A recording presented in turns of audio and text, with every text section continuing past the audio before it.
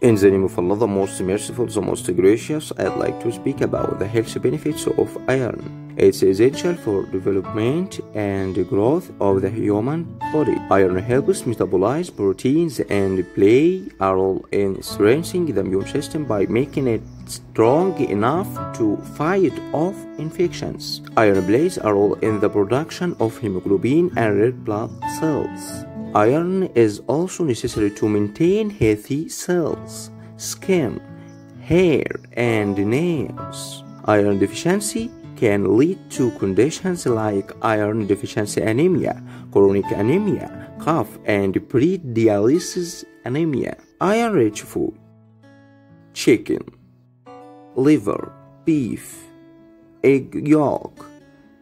and plants, broccoli, dried beans, potatoes with skin, spinach, iron fortified cereal. It fights hair loss, it enhances immunity, it helps in brain development. It helps wound healing, it makes you energetic, it improves appetite, it ensures healthy pregnancy.